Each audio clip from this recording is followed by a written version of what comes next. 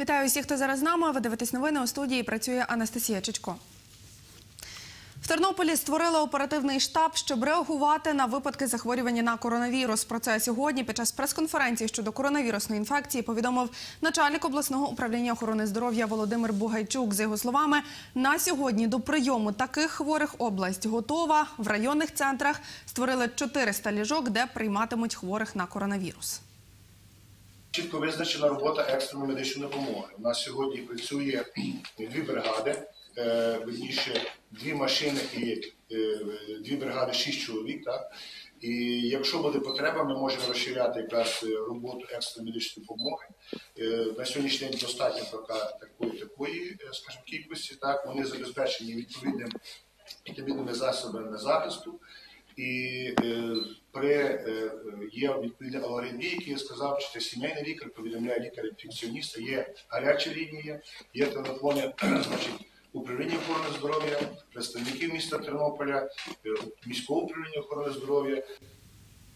Спеціальних тестерів для визначення коронавірусу в області немає, розповіла виконувачка обов'язків директора обласного лабораторного центру Оксана Чайчук. За її словами, згідно із розпорядженням Міністерства охорони здоров'я, такі тестери є лише у Києві і у прикордонних областях. На Тернопільщині інфекцію діагностуватимуть методом виключення.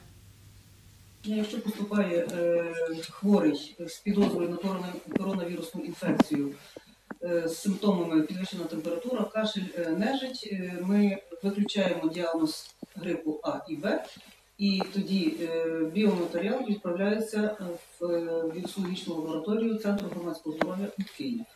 Для того, щоб відправити е, такий біоматеріал, у нас є спеціально обладнана машина, е, затверджений маршрут і водій, який і е, спеціалісти, які пройшли навчання і мають допуски до роботи, до роботи з біоматеріалом. І продовження цієї теми дивіться у наступному випуску новини 17 годині, а також на нашій Фейсбук-сторінці або на сайті Суспільного.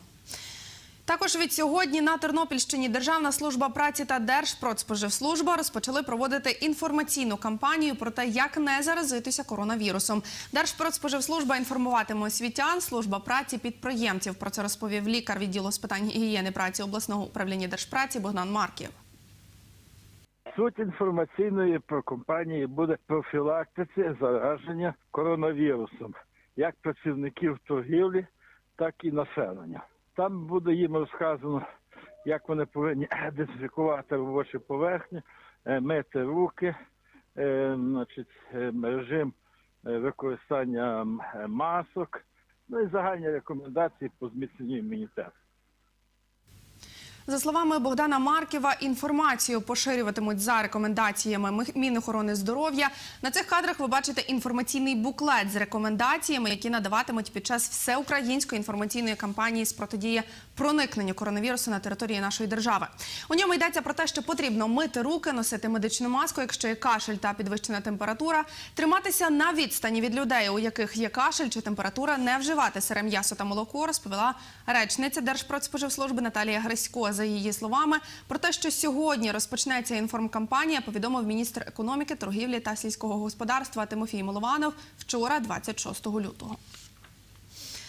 Близько 40 батьків, діти яких навчаються в обласній профспілковій школі мистецтв, сьогодні протестували проти ліквідації цього навчального закладу та звільнення приміщення. Про це повідомила директорка школи Марія Семків.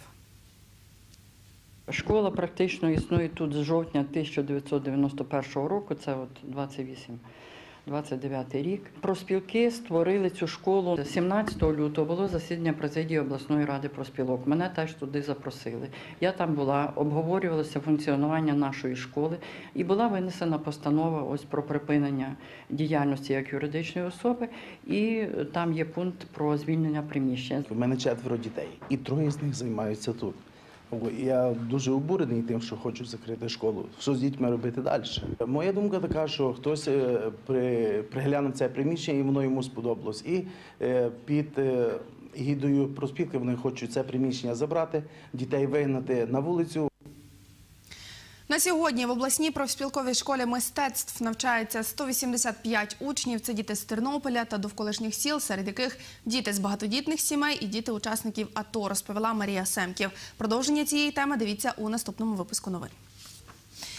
Виставку край сьогодні в арт-галереї Бункер Мус представить київська мисткиня Анна Миронова. За словами прес-секретарки закладу Анни Золотнюк, відкриття відбудеться о 19-й у бункер у галереї Бунк- Бункер. Художниця народилася у Києві. Вона членкиня спілок дизайнерів і художників України. Займається живописом, графікою, фотографією. Створила 16 персональних проєктів та взяла участь у понад 100 групових виставках. На цьому у мене все. Наступне інформаційне оновлення на телеканалі ЮА Тернопіль. Дивіться о 17 годині. Побачимось.